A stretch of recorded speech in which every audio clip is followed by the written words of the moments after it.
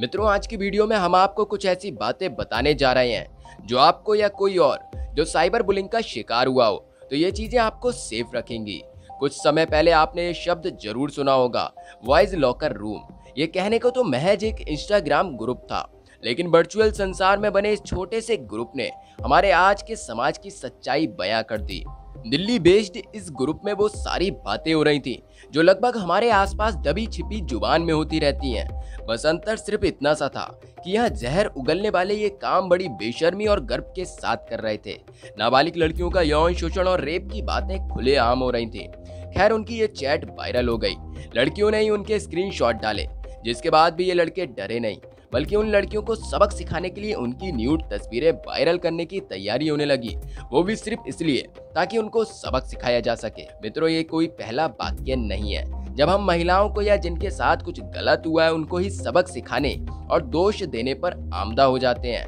वही औरत खुली तिजोरी होती है। खुले में निकलेगी तो लुटी जाएगी। एक समुदाय विशेष में तो उन्हें काले बोर में ही बंद करके रखा जाता है।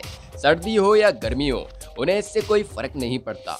मित्रों, आज हमारे समाज में कई जगह लड़कियों को खुले में सांस लेने की आज़ादी मिल चुकी है। कई ऐसी पर्दा प्रथा जैसी प्रथाओं से आज़ादी मिल चुकी है। किंतु आज भी हमारे समाज में एक हिस्सा ऐसा भी है, जो आज भी औरतों को घर में बंद किए हुए रखना चाहता है। सदियों से हम जहर की खेती अपने बच्चों के दिमाग में कर रहे हैं। अब फ़सल सामने है तो मुँह चुराकर खेत को दोष देने में लग गए हैं। मित्रों, इस घटना ने एक तरफ़ सड़ चुके समाज तो दूसरी तरफ़ सोशल प्लेटफॉर्म पर होने वाली साइबर बुलिंग का चेहरा भी बेनकाब किया है। भारतीय संविधान के मुताबिक साइबर बुलिंग एक दंडनीय अपराध है। इसका मतलब यह है कि सोशल मीडिया पर या ईमेल और एसएमएस के ज़रिए किसी को परेशान करने का कोई भी आक्रामक, जानबूझकर किया गया काम कानून की नज़र में दंडनीय है। हालाँकि इसके बावजूद ये सब धड़ल्ले से जारी है। मित्रों, ऐसे में अगर आपके साथ भी इस तरह का कोई साइबर अपराध हो तो आप इन तरीकों को अपनाकर इन घटिया लोगों से निपट सकते हैं। Number one, social media platform पर अकाउंट, ग्रुप की तुरंत रिपोर्ट करें। पहला कदम ये होना चाहिए कि आप तुरंत सोशल मीडिया प्लेटफॉर्म पर ऐसे साइबर बुली को ब्लॉक और रिपोर्ट करें और अपने दोस्तों से भी अकाउंट को ब्लॉक करने के लिए कहें। Number two, national cyber crime reporting portal पर साइबर बुली के खिलाफ ऑफिशियली शिकायत भी कर सकते हैं। जी हाँ मित्रों, ये एक विशिष्ट कॉलम है जहाँ आप बच्चों और महिलाओं से संबंधित साइबर अपराधों की रिपोर्ट कर सकते हैं। यदि आप अपनी पहचान उजागर नहीं करना चाहते तो आप इस पोर्टल पर गुमनाम रूप से शिकायत दर्ज भी कर सकते हैं। नंबर थ्री, यदि आप आधिकारिक तौर पर अकाउंट की रिपोर्ट करने या इसकी प्रक्रिया को लेकर कोई गाइडेंस चाहते हैं तो राष्ट्रीय साइबर अपराध के हेल्पलाइन नंबर पर संपर्क करें। Helpline number one double five two six zero, जो कि सुबह नौ से शाम छह बजे तक एक्टिव रहता है। आप ट्विटर पर भी संपर्क कर सकते हैं, एट द रेट साइबर दोस्त पर टैग करके। नंबर फोर मित्रों, अपने दोस्तों और परिवार को घटना के बारे में सूचित करें और उनसे टच में रहें। साइबर बुलिंग बहुत परेशानी वाली होती है। आपको ऐसा लग सकता है कि आपके माता पिता आपको नहीं समझेंगे और सोशल मीडिया पर एक्टिव रहने के लिए आपको ही दोषी ठहरा देंगे। लेकिन मित्रों, ऐसा नहीं है। आप अगर उन्हें मौका देंगे, तभी तो वो कुछ कर पाएँगे। उन्हें स्थिति की गंभीरता का ज़्यादा अंदाज़ा होगा। इसलिए अपने सिर से बोझ उतारिए और अपने दोस्तों और परिवार से बात कीजिए।